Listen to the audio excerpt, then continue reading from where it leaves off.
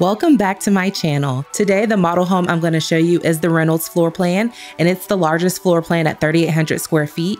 It features six bedrooms, four bathrooms, and what's unique about this floor plan is that the builder actually lets you choose your own selections.